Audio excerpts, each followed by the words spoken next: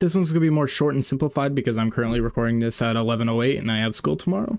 But the thumbnail and title um, are correct. There is some leaks on a possibility of solos and quads coming to Apex Legends Season 21, which would be a huge boost the uh, player base. Mostly everyone not playing Apex usually doesn't have enough friends or have too many friends to play the game with, and it usually gets boring or stale.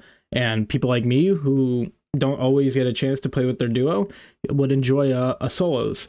Um, alongside that, there is also might be akimbo weapons coming to the game, which would be absolutely sick. Would make the Mozambique shoot less like a um, sloppy fucking mess alongside the P2020 because they keep sleeping on it. I originally saw this leak thinking it wasn't real. Um, I got it from the mayor of Apex originally, thinking it wasn't real. Speaking of mayor of, uh, mayor of Apex, uh, check him out. He gives some he gives some good leaks for uh, for uh, Apex and some quality content. Go check them out. Um, I looked it up on Twitter and I did actually see the original leak saying pretty much that solos and duos is a possibility that will be coming to season 21. Originally, they said no to the idea of solos, but something tells me that with the decline of players in Apex Legends that they decided to revamp their choice. Yeah, this would be absolutely insane for the game and I am all for it even though I've had some issues with the game. I think this would be a real game changer if they focused on the game itself and not just purchasable items.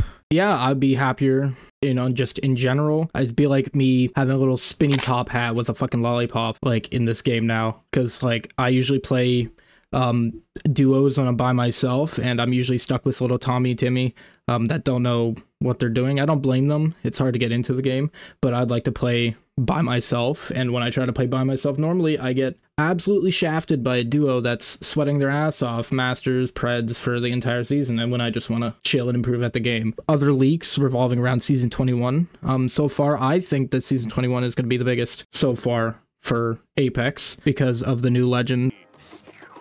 I think that's going to change how the, everyone plays the games. Um, if you guys want a video on it, um, I, I could do that too. If anything else happens, I'll keep you updated.